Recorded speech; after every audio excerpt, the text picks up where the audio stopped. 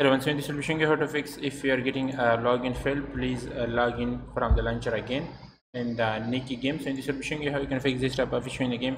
So the first thing you need to do is simply click on window icon and then restart your device. So once you restart your device, then don't start the game directly. You need to right click on the game icon. So I'll be showing this as an example, but you can follow the same step for your game.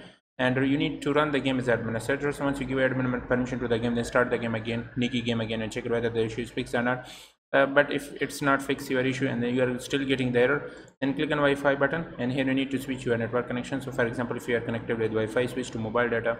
Or if you are connected with mobile data then simply switch to Wi-Fi and then try again.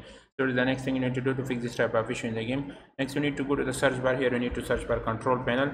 Open the control panel and then you need to search for window defender firewall and uh, which will be uh, right in here. So here you can see window defender firewall and uh, here you need to select this option turn window defender firewall on and off.